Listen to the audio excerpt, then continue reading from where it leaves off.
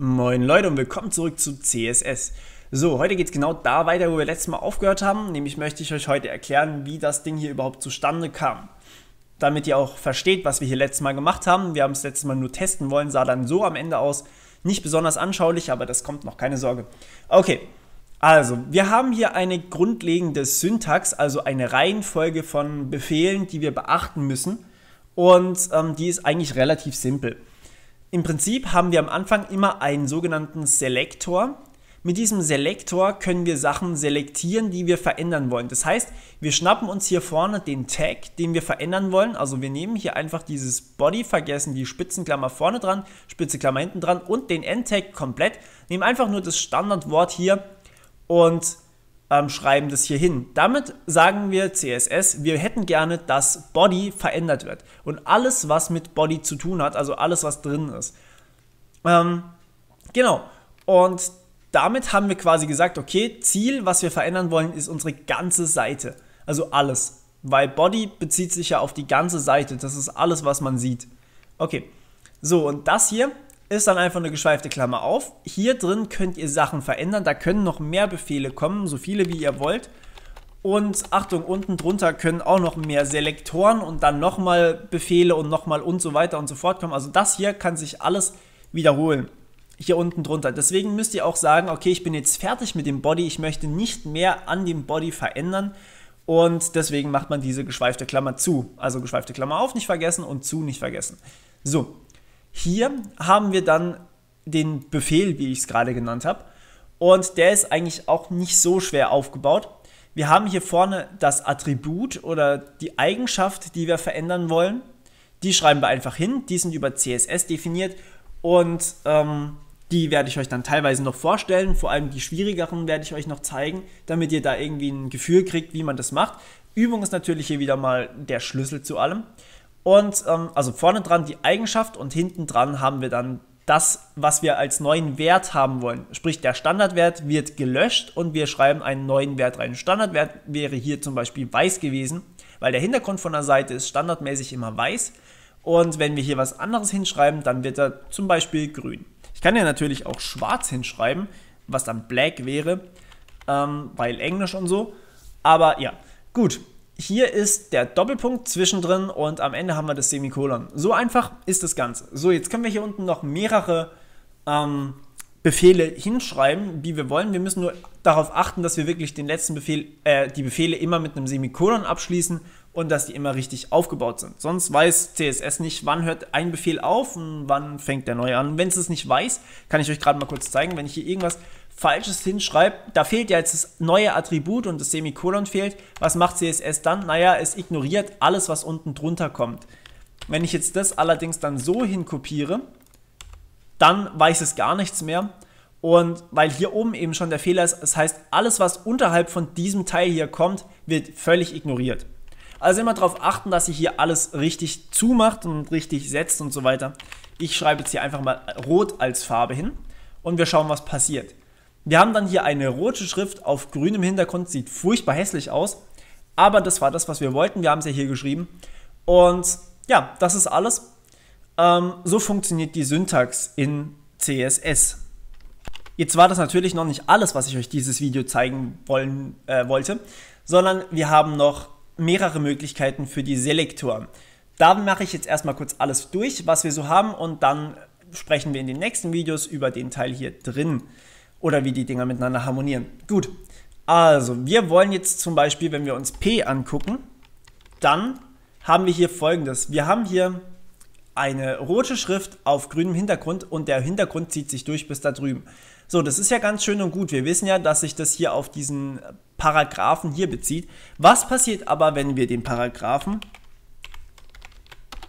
noch einen zweiten Paragraphen einfügen? Irgendwas anderes. So, naja, es bezieht sich auf beide Paragraphen. Und ähm, das ist teilweise ein bisschen blöd, weil man muss jetzt sagen, okay, ich hätte gerne nur den Paragraphen hier oben oder nur den hier unten. Und dazu braucht man irgendwas, mit dem man drauf zugreifen kann. Und das macht man auch über diese Selektoren. Also ihr wisst, dieses P bezieht sich auf alle Ps, die wir hier irgendwo reinschreiben. Nicht irgendwie auf das erste, sondern wirklich auf alle. Das war bei dem Body genauso. Nur dass wir mit Body nur ein Body ansprechen können, weil es nicht mehr als ein Body geben kann. Ähm, aber bei P ist das ja was anderes. Wir können so viele Ps haben, wie wir wollen. Und deswegen sprechen wir, wenn wir hier mit dem Selektor P hinschreiben, dann sprechen wir das P an, das P hier und beliebig viele, beziehungsweise alle anderen Ps hier unten drunter. So, wenn wir jetzt wirklich nur das P hier oben ansprechen wollen, dann brauchen wir entweder Klassen oder IDs. Klassen oder IDs habe ich euch in den ähm, anderen Videos schon gezeigt, also in HTML-Videos. Da schreiben wir einfach ID gleich und dann können wir dem Ding irgendeinen Namen geben. Zum Beispiel P1, also als erster Paragraph. Ihr könnt hier irgendwas reinschreiben, also wirklich irgendwas, nur macht es irgendwie so, dass ihr es euch merken könnt, weil sonst guckt ihr in einem halben Jahr in den Code rein und denkt euch, was war bitte Querz für ein Teil, ähm, wieso habe ich das hier verändert und was tut es.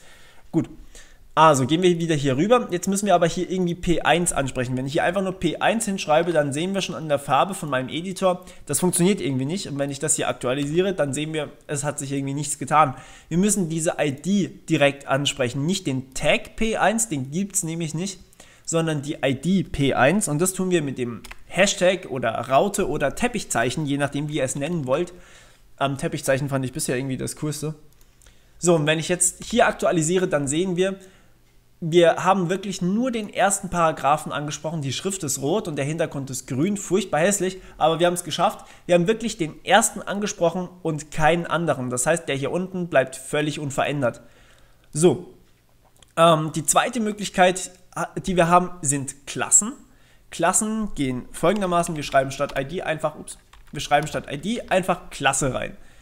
Und das ist eigentlich auch schon die ganze Magie dahinter. Jetzt müssen wir hier allerdings nicht den Hashtag oder Teppichzeichen oder sowas benutzen, sondern einen Punkt. Ein Punkt ist für eine Klasse, ein Hashtag ist für, ein, äh, für eine ID. So, den Unterschied, was Klassen und IDs sind, habe ich euch in HTML gezeigt.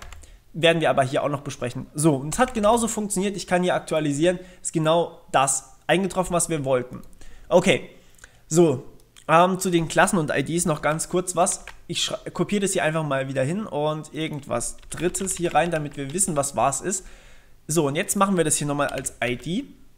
Und dann sagen wir hier ID gleich P1. So. Und wir wollen hier auch wieder die ID manipulieren, deswegen brauchen wir hier wieder den Hashtag. Okay, was ich jetzt gemacht habe, ist, ich habe dem Paragraphen dieselbe ID gegeben wie dem hier oben und ich habe die ID hier über CSS manipuliert. Was passiert jetzt, wenn ich hier aktualisiere? Wir haben beides verändert und das ist wirklich eine Toleranz von den Browsern, ähm, denn theoretisch sind IDs eindeutig. Das wird wahrscheinlich über Internet Explorer nicht so gut funktionieren, ihr könnt es aber mal gerne ausprobieren. Ähm, vor allem später wird es kritisch werden, wenn wir noch mit Klassen und noch mit weiteren IDs oder Tags arbeiten. Das werde ich euch dann nächstes Video zeigen. Ähm, das heißt, da immer vorsichtig sein. Wenn ihr so eine ID setzt, ist wirklich darauf angelegt, dass euer Browser das unterstützt. Was man hier eigentlich benutzen sollte, sind Klassen. Klassen sind dazu gedacht, dass man für... Ah, dass es das immer Auto vervollständigen muss. Sehr nett, aber ja.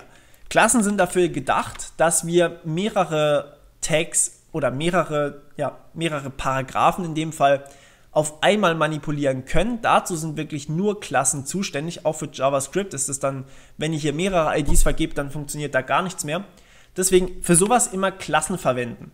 Und bei Klassen funktioniert das genauso. Also bei Klassen können wir dann auch mehrere hier reinmachen und, und so weiter und so fort. Äh, ein Paragraph kann allerdings auch eine ID und eine Klasse haben.